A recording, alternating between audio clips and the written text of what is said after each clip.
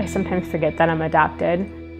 My parents are my parents. I never think of them as my adoptive parents. They are who I know and who raised me and loved me. And my parents just always did a really good job of letting me know that I was adopted from Colombia and that I have a birth family down there, that if I wanted to ever find them, they would support me 100%. And eventually, I decided that's something that I wanted to do. And I did find them a couple years back. And my mom always told me for years that she wanted to meet my birth mom because she wanted to thank her for allowing her to become a mom. And so I got to meet everyone when I went down to Colombia for the first time down there. It was really special. We've been together since 1993 and got married after three years. We just seem to like being together and being us.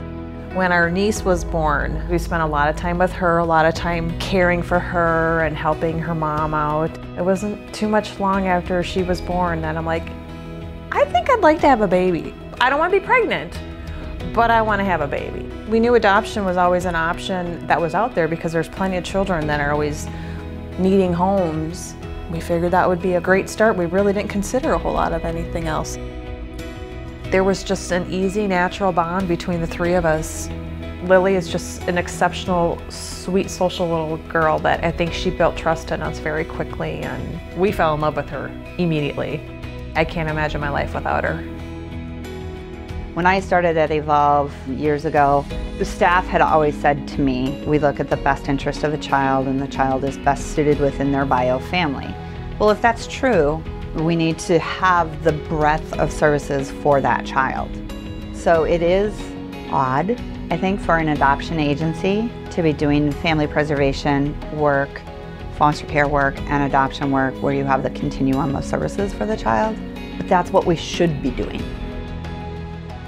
So we see about a 50% adoption rate in our foster care programming. And then the other 50% either get reunited with bio families or they're potentially in foster care for a longer period of time. Whether it's reunification or adoption, we don't want kids to linger in foster care. For children to grow up and be the best that they can be, a family is a basic need. I guarantee you that somebody sitting next to your child in school has been in the foster care system or have been adopted. You just don't know it. It's a somewhat hidden issue within schools and systems. People don't know, but it's there. And eventually, when I met my birth mom, she did tell me she wanted me to have opportunities and to be able to be raised and be healthy. I was in a position and grew up in a family where I was able to go to school and go to college and then go on to professional school. I had a lot of opportunity and I didn't want to take anything for granted.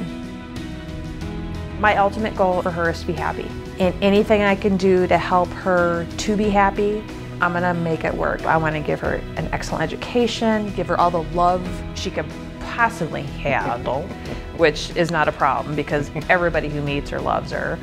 With her having Down syndrome, I wanna give her all those resources that she can have so that she can be the best person she can be. Adoption is broader than just the one child that's being adopted. You know, it's the whole family. It's the grandparents and it's the aunts and uncles and cousins and it's the siblings that potentially are already in the home as well. If we could expand on that exponentially as far as that impact of that one child being adopted into the family, I can't even imagine what that number would be. I wanted to be able to do anything possible for these children that are in foster care and I wanted to be able to give back to the community. You know, if there's any child in need of dental care, I'd be more than happy to treat them at no cost since they really don't have much stability in their life. I wanted to offer my services and offer them a dental home. We need our community to embrace the potential of all of our children. It's not just about finding the foster families or the adoptive families, but it's also about continuing to just find people that believe in our cause and our mission and are willing to support us. We've all heard the saying, it takes a village. So not only in our communities do we need that village, but we need the village here at Evolve. So our staff and our volunteers and our donors special events committees, our board of directors. We need them all. It's all an important piece to what we do.